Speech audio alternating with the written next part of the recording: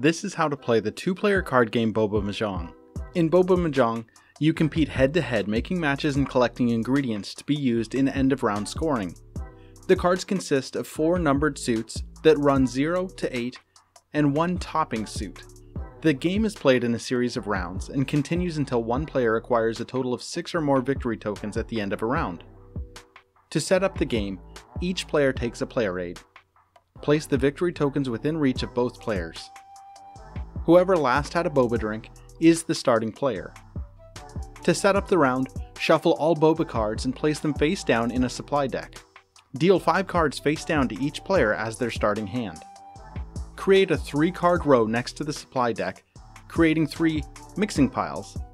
If any of these 3 cards are a 0, shuffle it back into the supply deck and draw another card to replace it until there are no zeros in any of the mixing piles.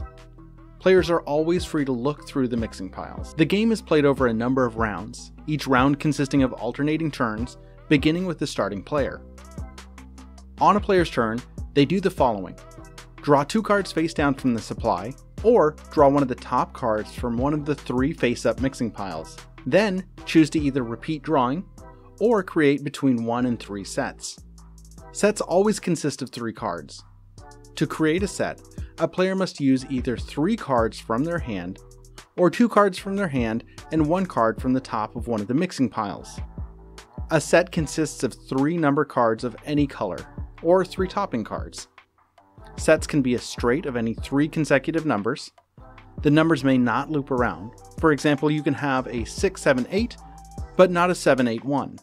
A set can also be a 3 of a kind, where you have three identical numbers. In the case of a straight or a three of a kind, zeros may be used as numerically wild, and you can use one, two, or three zeros to create a set. A set can also consist of three topping cards, however, zeros may not be used as wilds in this instance. When you create a set, choose one of the three cards to go into a scoring pile into your tableau in front of you. The remaining two cards from that set must be placed face up on the mixing piles.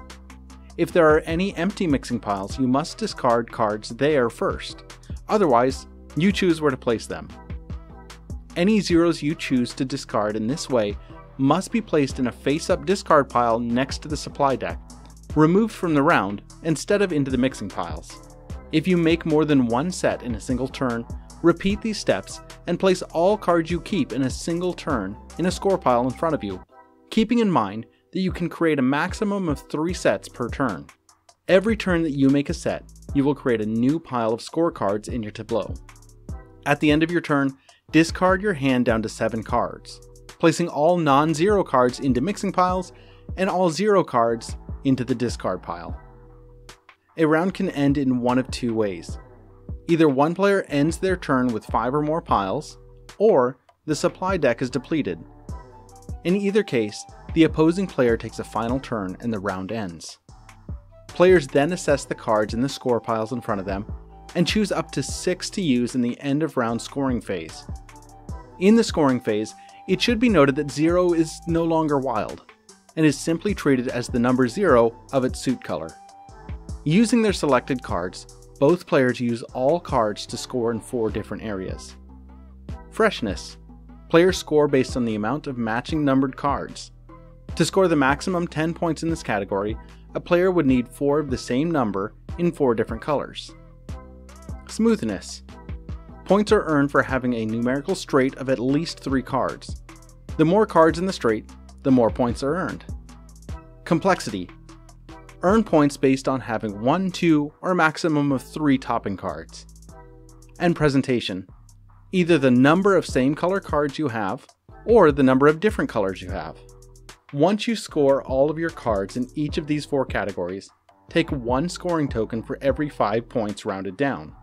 So a total score of 13 points in a single round would earn you 2 scoring tokens, but a score of 15 would earn you 3. Once end of round scoring is complete, if no player has earned at least 6 scoring tokens, shuffle all cards together and repeat the start of round setup, with the player with the fewest victory tokens becoming the start player. If there's a tie, the start player remains the same. The game ends when a player earns at least 6 scoring tokens at the end of round scoring. When this happens, the player with the most scoring tokens wins. In case of a tie, the player who scored the most points in the last round wins. And if there is still a tie, the players share the victory. To play the advanced rules, at the start of each round, draw a card from the supply deck and set it face up to the mixing area. This card may be used by both players as one of their six cards in end of round scoring.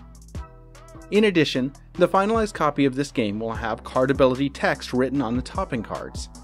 Whenever a player places a topping card in a score pile in front of them, after creating a set, they may immediately use the card ability text.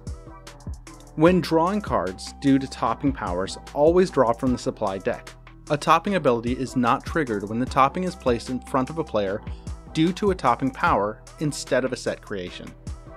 And that's how you play the two player card game Boba Mahjong.